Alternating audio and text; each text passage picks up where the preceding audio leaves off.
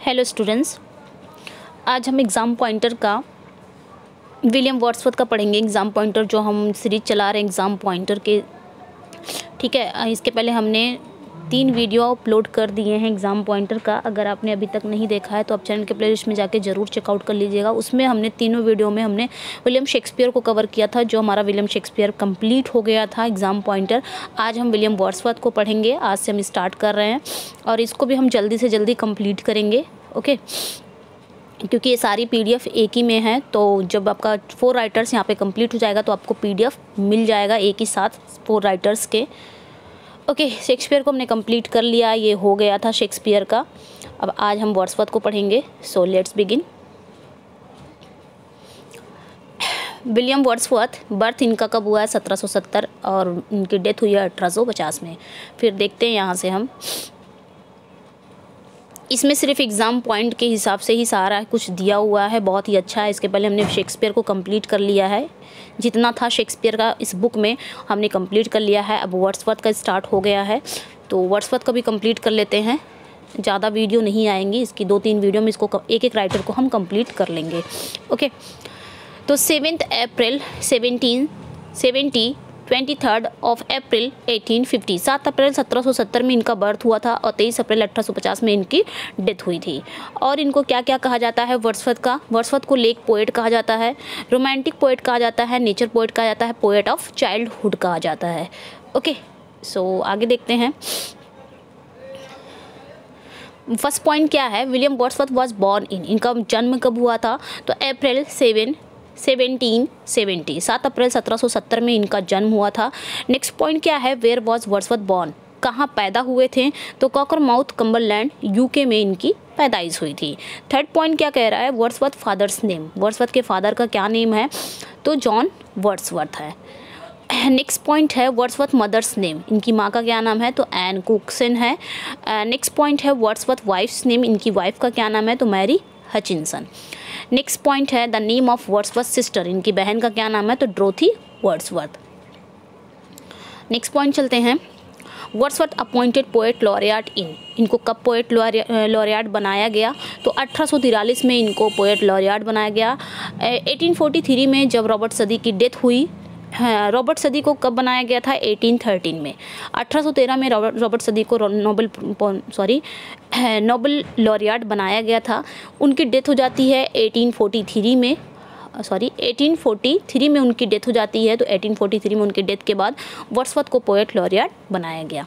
और वर्षवत की पोएट लॉरियाट की जो अवधि थी, जो ड्यूरेशन था, वो कब से कब तक था? 1843 से टू 18 फिफ्टी तक था, अठारह सौ पचास तक जब उनकी डेथ नहीं हुई। ओके नेक्स्ट देख लेते हैं। Wordsworth Wordsworth Coleridge one minute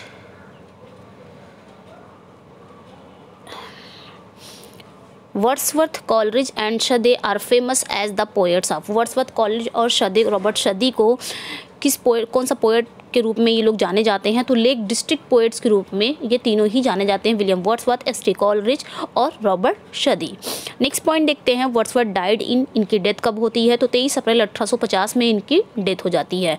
इनका, इनके डेथ का रीज़न क्या था? क्यों क्यों इनकी डेथ हो जाती है? तो इनको प्लेरिशी हो जाती है, फेफड़ों में सूजन हो जाता है। नेक्स्ट पॉइंट क्या है? इनकी जो डेथ होती है वो किस एज में? ये उस समय कितने साल के थे? तो अस्सी साल की उम्र में इनकी डेथ हो जाती है। नेक्स्ट देख लेते हैं वर्ड्सवर्थ बरीड एट इनको कहाँ दफनाया जाता है? तो ग्रास मेयर चर्च यार्ड में इनको दफनाया जाता है।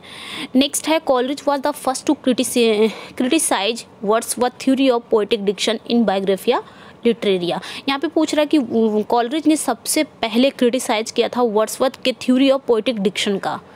यहाँ पे क्वेश्चन आ, आ जाते हैं। ये क्वेश्चन बहुत बार पूछा गया कि वर्ड्सवर्थ की थ्योरी ऑफ़ पोइटिक डिक्शन का सबसे पहले क्रिटिसाइज किसने किया था? तो एस कॉलेज ने किया था। कहाँ किया था?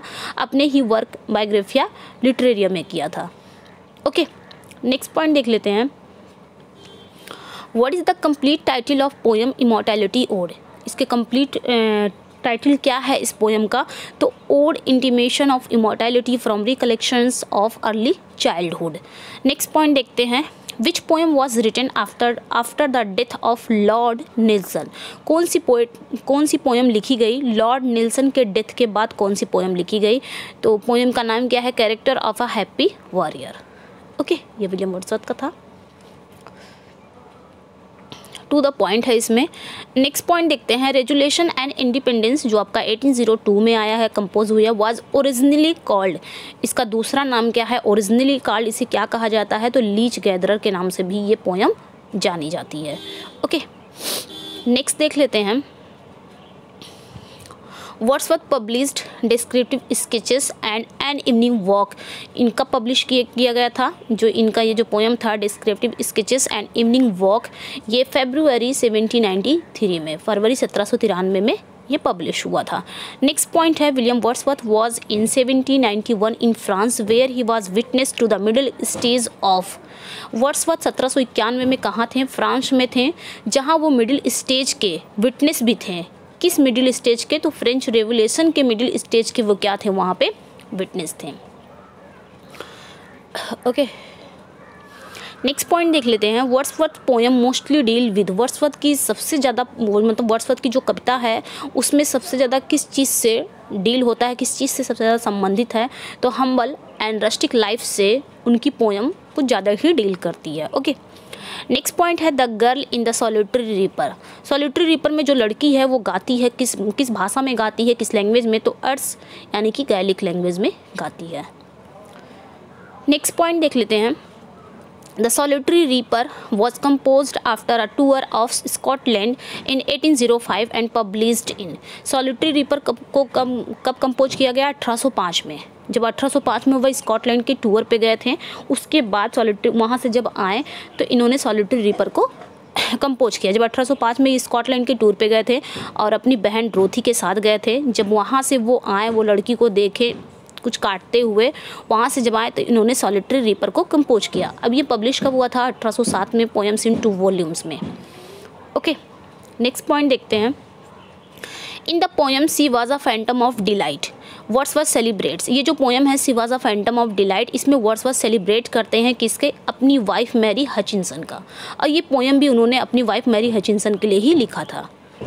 Okay next the excursion dated 1840 marks the beginning of excursion जो कब पब्लिश हुआ था? 1814 में। और इसकी शुरुआत का मार्क्स क्या है? The decline of Wordsworth poetic genius okay next point देख लेते हैं। This will never do who made the comment about excursion excursion के बारे में ये किसका कॉमेंट है? क्या क्या कॉमेंट है? This will never do one minute ये इंपॉर्टेंट हो जाता है। दिस विल नेवर डू ये कमेंट है। एक्सकर्जन के बारे में है। और किसका है? तो जेफरी का है। ओके। नेक्स्ट पॉइंट देखते हैं। His eyes as stars of twilight fair, like twilights to her dusky hair these lines are from ये लाइनें कहाँ पे आती हैं? तो जो वर्ड्सवर्थ ने लिखा है अपनी वाइफ मैरी हचिनसन के लिए वो पोएम वो पोएम का नाम क्या है? She was was a phantom of delight उसमें ये चीज़ें उन्होंने कहा है। हिज आइज़ यहाँ पे हर आइज़ यानी कि अपनी ये अपने वाइफ के लिए लिखे हैं और वो अपनी वाइफ की ही बात यहाँ पे कर रहे हैं। Okay next point but she is in her grave and oh the difference to me these lines appear in ये लाइनें कहाँ पे आती हैं? तो ये लाइनें she dwelt among the untrodden ways में आती हैं। ये लाइनें जो लूसी पोएम्स में, जिसका लूसी पोएम्स के नाम से टाइटिल है, उसमें ये पोएम आती हैं जो आपका सेवेंटी नाइन्टी एट में पब्लिश हुआ था। और ये लाइनें यहाँ पे आती हैं। ओके नेक्स्ट पॉइंट है Wordsworth lived for fifty years among the कहाँ रहते थे? द कम्बर लैंड डेल्समैन में। नेक्स्ट देख लेते हैं। She gave me eyes she gave me ears and humble cares and delicate fears a heart the fountain of sweet tears and love and hope and joy these lines are in reference to ये लाइनें किसको reference की जाती है? तो Dorothy Wordsworth को ये लाइनें कही जा रही हैं। वर्ड्सवर्थ यहाँ पे किसके बारे में बोल रहे हैं? She gave me eyes she gave me ears and humble cares and delicate fears तो ये ये जो रेफरेंस है, ये लाइनों को रेफरेंस वो किसको देते हैं? ड्रोथी वर्ड्सवर्थ को दे रहे हैं। Okay okay. नेक्स्ट पॉइंट देख लेते हैं। She dwelt among the untrodden ways strange fits passion have I known a slumber did my spirit seal three and three year she grew in sun and shower तो ये इनका Lucy poem की जो पाँच Lucy poems के नाम से title है तो उसमें आपका सबसे पहले कौन सी पोएम आती है? She dwelt among the untrodden way second number पे आती है strange fits passion have I known third number पे slumber did my spirit seal and fourth number पे three years grew grew in sun and shower आगे क्या कह रहा है? Are the four poems of William Wordsworth Lucy poems ये चार poems William Wordsworth के लूसी पोएम में से है। One poem was added later in 1801 बाद में एक और पोएम जोड़ी गई 1801 में। वो कौन सी पोएम है? तो वो पोएम है I travelled among unknown man okay चार पोएम थी इनकी लूसी पोएम्स में। बाद में 1801 में, आप इन सब का डेट अगर देखेंगे तो ये सब आपके सत्रह में, ये चारों पोएम सत्रह में पब्लिश हुई है सारी सारी पोएम इनकी चारों। बट बाद में 1801 में इनकी पोएम आई थी, एक और को जोड़ा गया I travelled among unknown man ये बाद में जोड़ा गया। ओके टाइटल दिया गया इसका लूसी पोएम्स का। नेक्स्ट पॉइंट है for his poem immortality ode Wordsworth is indebted to अपनी मतलब यहाँ पे कह रहा है कि इमोर्टैलिटी ओड के, अपनी पोएम इमोर्टैलिटी ओड के लिए वर्सवर्थ किसके इंडेप्टेड हैं, किसके कर्जदार हैं? तो यहाँ पे आपका हो जाता है Vaughan's the retreat okay Vaughan's sorry Vaughan's the retreat next point देख लेते हैं।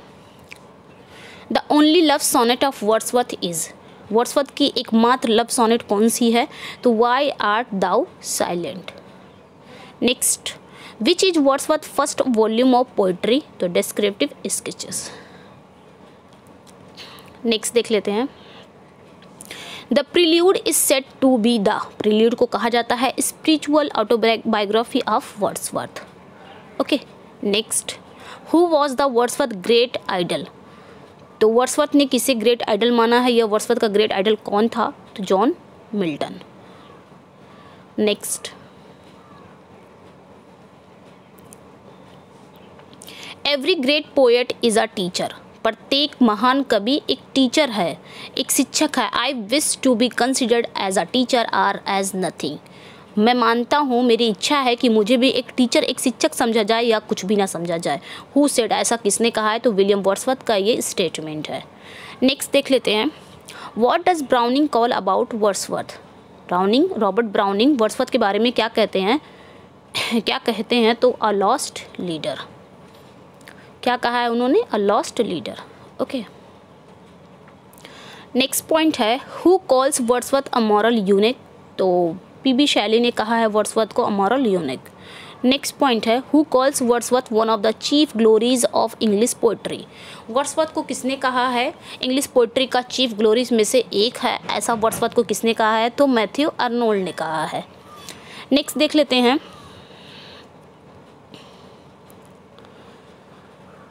हु कॉल्स द इमोर्टेलिटी और the high water mark of poetry immortality ode को किसने कहा है? The high water mark of poetry तो किसने कहा है? इमर्शन ने कहा है.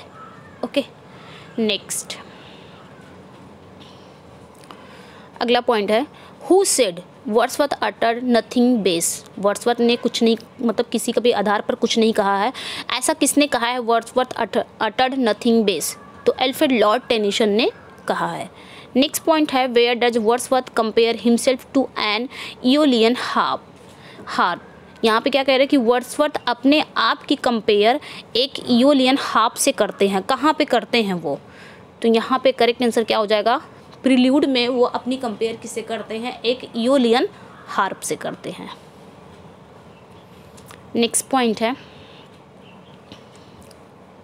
Lyrical ballads came in 1798 next preface to the lyrical ballads came in कब प्रीफेस जोड़ा गया लिरिकल बैलेट्स में? तो 1800 में जोड़ा गया। In preface to the lyrical ballads Wordsworth examine a sonnet of Gray which one lyrical ballads के preface में वर्ड्सवर्थ थॉमस ग्रे के एक सोनेट को एग्जामिन करते हैं। वो सोनेट कौन सी है? तो on the death of Richard West 1742 1742 okay next देख लेते हैं। Coleridge was Wordsworth friend. Coleridge कौन है? वर्ड्सवर्थ के फ्रेंड थे और इनकी डेथ कब होती है? 1834 1834 में।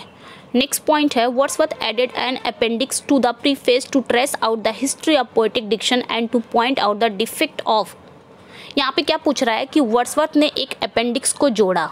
वर्ड्सवर्थ ने एक अपेंडिक्स को जोड़ा किस लिए? पोइटिक डिक्शन के इतिहास को पता लगाने के लिए and to point out the defect of the new classical poetic diction और न्यू क्लासिकल पोइटिक डिक्शन के डिफेक्ट्स को पॉइंट आउट करने के लिए। वर्ड्सवर्थ ने एक अपेंडिक्स को जोड़ा। किस लिए? पोइटिक डिक्शन के इतिहास को पता लगाने के लिए और न्यू क्लासिकल पोइटिक डिक्शन के दोषों को पॉइंट आउट करने के लिए। ओके नेक्स्ट देख लेते हैं। No pleasant images of trees of sky sorry of sea और sky no colours of green fields but huge and mighty forms that do not live like living man these lines are from ये लाइनें कहाँ पे आती हैं? तो ये लाइनें आपकी प्रिल्यूड बुक वन में ये लाइनें आपकी आती हैं। Okay next he is the greatest poet of nature वह नेचर का सबसे महान कवि है that our literature has produce और हमारे साहित्य ने इसे क्या किया है? पैदा किया है प्रोड्यूस किया है, उत्पन्न किया है। This is the remark of Long about ये रिमार्क किसका है? स्टेटमेंट किसका है? डब्ल्यू जे लॉन्ग का है। किसके बारे में है? विलियम वर्ड्सवर्थ के बारे में है। उन्होंने विलियम वर्ड्सवर्थ को कहा है। Next where were the lyrical ballads appreciated more than in England lyrical ballads को इंग्लैंड के बजाय सबसे ज़्यादा कहाँ अप्रिसिएट किया गया है? तो अमेरिका में किया गया है। अमेरिका में कब पब्लिश हुआ था? लिरिकल बैलेट्स अमेरिका में कब पब्लिश हुआ था? तो आपका 1802 में लिरिकल बैलेट्स पब्लिश होता है। ओके इंग्लैंड में कब था? इंग्लैंड में फ़र्स्ट एडिशन कब आया था? पब्लिश कब हुआ था? 1798 में हुआ था और वहीं पे अमेरिका में कब हुआ था? 1802 में पहली बार। ओके नेक्स्ट पॉइंट देख लेते हैं. Who according to Long Long के अनुसार किसे? Has not only sight but insight मतलब उनके पास सिर्फ़ साइट ही नहीं है, सिर्फ़ दृष्टि ही नहीं है, बल्कि अंतर्दृष्टि है. ऐसा लॉन्ग ने डब्ल्यू जे लॉन्ग ने किसे कहा है? तो विलियम वर्ड्सवर्थ को कहा है. Who calls Wordsworth the historian of Wordsworth sire किसने वर्ड्सवर्थ को the historian of Wordsworth sire कहा है? तो लोवेल ने कहा है. नेक्स्ट देख लेते हैं. नेक्स्ट पॉइंट है. A large portion of Wordsworth work is Wordsworth के वर्क का एक लार्ज पोर्शन क्या है? अनइंस्पायर्ड है। Okay next a poet could not be gay in such a jocund company where do these lines appear ये लाइनें कहाँ पे आती हैं? तो ये लाइनें आपकी डेफोडिल्स की हैं। ये लाइनें कहाँ पे आती हैं? डेफोडिल्स की लाइनें हैं। Next who criticized Wordsworth for not practicing his own theory, his own poems. किसने वर्ड्सवर्थ को ये किसने वर्ड्सवर्थ की क्रिटिसाइज सॉरी किसने वर्ड्सवर्थ को क्रिटिसाइज किया है कि वह अपनी ही कविता का सिद्धांत वो अपनी ही कविता के सिद्धांतों का पालन नहीं करते हैं ऐसा किसने कहा है? तो टी एस एलियट ने कहा है। Next just for a handful of silver he left us just of just for ribbon to stick in his coat who wrote किसने लिखा है? तो रॉबर्ट ब्राउनिंग ने लिखा है किसमें? द लॉस्ट लीडर में। Okay next there neither there there neither is nor can be any essential difference between the language of prose and metrical composition who said ऐसा किसने कहा है? तो ये विलियम वर्सवर्थ का स्टेटमेंट है। नेक्स्ट देख लेते हैं। The still sad music of humanity this famous line is from ये लाइनें कहाँ पे आती हैं? तो टीन टन एबे में ये लाइनें आपकी आती हैं। Okay okay.